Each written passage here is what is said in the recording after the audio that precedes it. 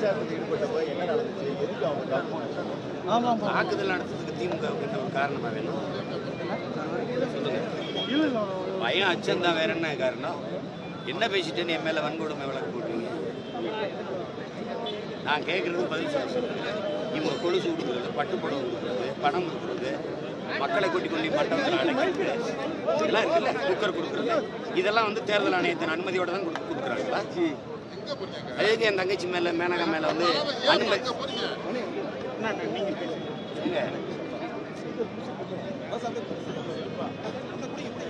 அப்ப அவங்க அனுமதியோட தான் கொடுக்குறாங்களா? விதியை மீறிட்டாங்களா அனுமதி இல்லாத தெருக்களில் போய் வாங்கி இப்ப வ- இது வாக்கு கேட்டாங்க. அப்போ திமுக அதிமுக எல்லாம் அனுமதி பெற்று தான் இந்த வேலையெல்லாம் செய்தா? என்னது அதிகாரத்தில் இருக்கிறவங்க அவங்களுக்கு ஒரு ஒரு சட்டம் எங்களுக்கு ஒரு சட்டமா? அதான் இதான் இவங்க காக்க காப்பாற்ற போராடுற ஜனநாயகம் அது. இதானே அது. ஒழுங்கா வாக்கு கேட்டு அமைதியாக வந்துக்கிட்டு இருந்தோம். எதுக்கு தாக்குனாங்க? மாடியில் கொண்டு கள்ள பூச்சி வச்சு எரியுறீங்க எரிஞ்சு ஆறு ஏழு பேருக்கு எங்கள் பிள்ளைகளுக்கு மண்டை உடஞ்சி வச்சு கார் அடிச்சு நிறுத்திட்டீங்க தாக்குனது யாரு?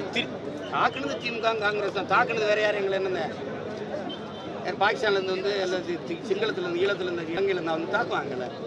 இவங்க தான் தெருக்கில் நின்று திருப்பி நாங்கள் அடித்தா நான் நீ முன் தயாரிப்பில் வந்துட்டேன் செங் கற்களை வச்சுக்கிட்டு கட்டையை வச்சுக்கிட்டு. அதே மாதிரி நானும் முன் தயாரிப்பில் வந்து அடிறான் அடிச்சேன்னா?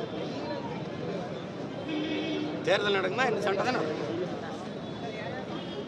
இப்படி தான் ஆட்சி நடத்துவீங்களா? இது என்னது இது? இது இப்படி இதுதான் இதுக்கு எதுக்கு தேர்தலை வைக்கணும்? எதுக்கு தேர்தலை வைக்கணும்?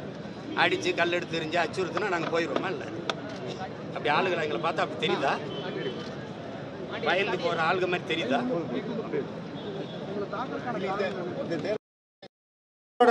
ஜனநாயகம்ங்கிறது ஜனநாயகம்ங்கிறது எங்க இருக்கு சொல்லுங்க? எங்க இருக்கு? இது கேடுகட்ட பணநாயகம் அது. பணநாயகம் இது ஜனநாயக நாடு இந்தியான்னு சொல்றதுக்கு வெக்கப்படணும் அவமானப்படணும் ஒவ்வொரு குடிமகனும். இது பணநாயக நாடு. பயத்தை தவிர வேற என்ன? பயத்தை தவிர வேற என்ன? ஒருவேளை திடீர்னு நான் வென்றுட்டேன்னா என்ன ஆகும்? அதுதான் அவங்களுக்கு. அவங்களோட கார் வரும்போது அவங்களோட கார் உடைச்சிட்டாங்க. நீங்க வந்து உடைச்சதா சொல்றாங்க அவங்களே உடச்சிட்டு எங்கள் மேலே ஒரு ப இதாக போடுறதானே தம்பி? இப்போ என்ன அருந்ததியரை பற்றி நான் பேசிட்டேன்னு நீங்கள் நீங்கள் வந்து இது இவ்வளவு இது கொடுக்குறீங்க. அவங்கள வச்சு அதை போராட வச்சு மா மாவட்ட ஆட்சியர்கிட்ட கொடுத்து தேர்தல் ஆணையர்கிட்ட கொடுத்து வழக்க போட்டீங்க. சரி என்ன?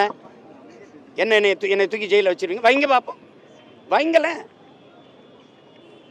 என்ன நீங்கள் என்ன உங்கள் அப்பா வச்சு வச்சு பார்த்தாரு. பயந்துட்டேனா நான்?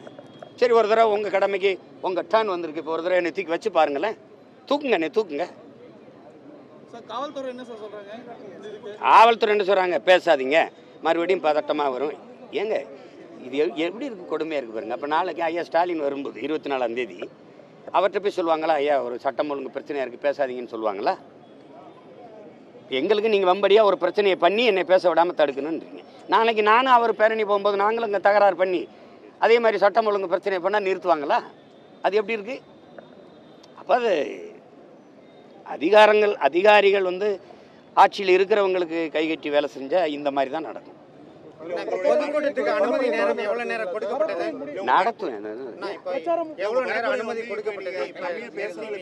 பத்து மணி வரைக்கும் தம்பி நமக்கு அனுமதி.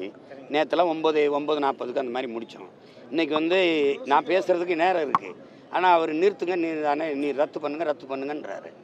பதட்டமான சூழ்நிலை இருக்குது அது பண்ணுது இது பண்ணுதுன்றாரு. இது பதட்டமான சூழ்நிலை காரணம் யாரு? நீங்கள் அவங்கள தான் தடுக்கணும். அதனால சரி நாங்கள் வந்து பேசாமல் போக முடியாது. எங்களை நம்பி கூடி மக்கள் கூடி இருக்கும்போது நான் வாக்கு கேட்காம போக முடியாது. நான் இரண்டு நாட்கள் தான் இருக்குது? இந்த சூழ்நிலையில இப்படி நடக்கும்போது நீ மேற்கொண்டு நீங்க என்ன நடவடிக்கை இருக்கீங்க? நீ நாளைக்கு வரக்கூடிய பிரச்சனை என்ன நடவடிக்கை? நான் இதே மாதிரி தான் பண்ணுவேன். அப்படின்னா மீறி பண்ணுவேன். என்ன என்னை கைது பண்ணுவீங்களா? சிறைப்படுத்துவீங்களா? அதுக்கெல்லாம் அஞ்சரை ஆளா நான். பிரச்சாரம் முடியிருக்கு இன்னும் மூணு நாள் தான் இருக்கு. இந்த மாதிரி தடுக்க மூணு நாளும் களத்தில் நின்று பேசுவேன். இதே மாதிரி தடுத்தாங்கன்னா வெற்றி வாய்ப்பு எப்படி இருக்குன்னு நினைக்கிறீங்க? இதே மாதிரி தடுத்தாங்கன்னா பேசுறது தான் தடுக்க முடியும். வெற்றியை தடுக்க முடியாதுல்ல? சரிங்க நன்றி.